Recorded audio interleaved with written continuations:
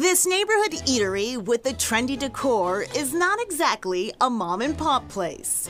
We are business partners here, and mom also. I can't both. forget she's my daughter. In, in Egypt, we traditionally do a tahini sauce. In November 2021, Dina Fahim and Sahar Ahmed opened Koshari Mama in Somerville. I'm vegan, Dina's vegetarian. We said, well, wouldn't it be nice to kind of highlight street food of Egypt and what isn't vegan, we're gonna make it vegan. Everyone eats street food in Egypt, says Fahim, who studied culinary arts at Boston University it's like a connector for people. It's where poor people will eat, average class will eat. It, honestly, sometimes you see people with plenty of money and wealthy people just eating around a street food cart. Ahmed and Fahim first launched Koshari Mama in farmers markets and as a pop-up before they opened the restaurant.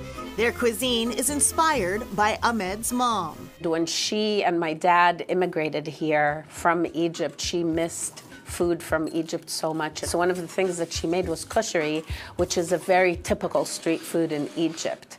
Koshery is Egypt's national dish made with rice, macaroni, chickpeas, lentils, fried onions, and sauces. The first trace of koshery was in the 14th century. Then it was brought by a Moroccan traveler, and he talked about an Indian dish called khichdi.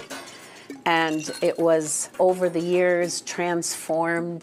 Koshari Mama's street food relies on beans, chickpeas, and lentils for protein. Dips and sauces are used abundantly. Shawarma, usually made with meat, is a medley of grilled mushrooms, onions, and sweet red peppers. Falafel is made with fava beans our actual dough for the falafel is a green dough. It has a lot of greens in it. So and it's fava beans. Yes, it's made with fava beans, and yes. some people will mix it with chickpeas as well. And it's usually put in a beautiful bread, beledi bread, which we make here actually. That's Fahim's aunt making the bread. So you're saying falafel, and I've always said falafel. So it's falafel. Falafel. Correct. That's the correct way. Falafel. Yep a minute and a half to mm-hmm. two minutes it'll plop up and it'll be ready it'll be like a golden brownish color this is home cooking made from scratch and as authentic as you can get says ahmed I thought it would be so nice to share that feeling. Food also is memories of people and family and good times, and it kind of ties you into where you're from. Go right in, you dip it in that sauce. and In Egypt, we say bilhana with shifa, so it's with like happiness and good health. All right.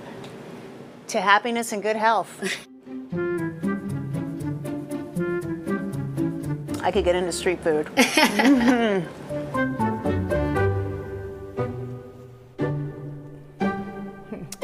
and our friends at Koshari Mama say that Typically, Egyptian street food is made from leftovers that had a lot of protein. It would help people then get through the day. That's right. And Sahar and Dina actually now offer brunch every Sunday and the menu changes weekly. This summer, they're hoping to bring in entertainment and they recently got their liquor license, so they are really off to a good start. You seem to enjoy it. I did. So Coming up, street food by the truckload.